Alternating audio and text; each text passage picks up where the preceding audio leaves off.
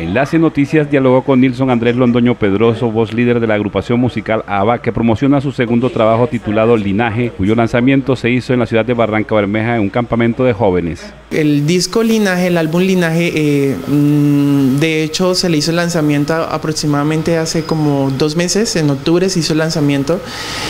Se hizo aquí en Barranca Bermeja, se hizo el lanzamiento junto a, otros artistas importantes en un campamento de jóvenes. Eh, el disco nace...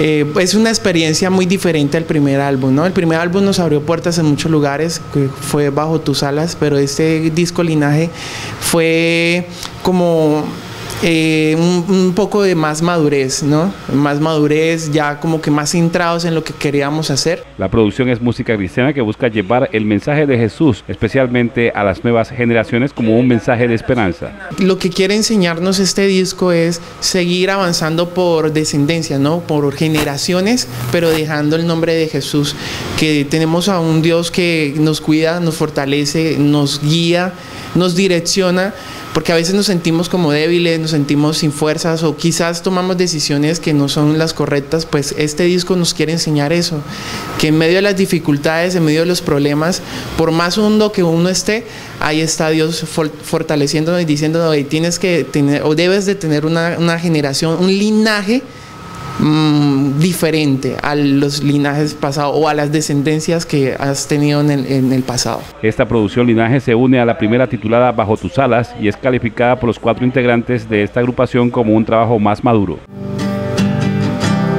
Esta historia comienza así. No me avergüenzo que decir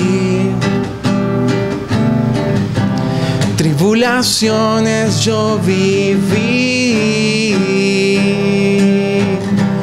Me confieso hoy a ti.